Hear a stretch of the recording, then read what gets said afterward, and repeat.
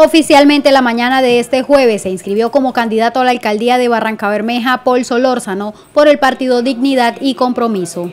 Debemos despolitizar la alcaldía y empezar a gerenciar esta empresa de todos que se llama Barranca Bermeja.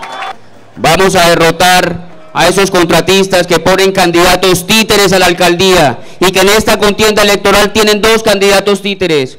Uno de ellos se inscribió hace poco y tiene además en sus filas a todos los concejales destituidos por corrupción que van a seguir robándonos si no los detenemos.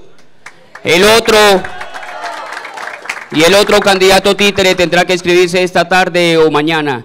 Los vamos a vencer. Bajo el lema del poder del cambio, el candidato entregó un mensaje a los barranqueños asegurando su compromiso con la ciudad. Justamente así se llama nuestro programa de gobierno. El poder del cambio. Y tiene como pilares fundamentales tres necesidades urgentes de la ciudad. Seguridad, empleo y progreso.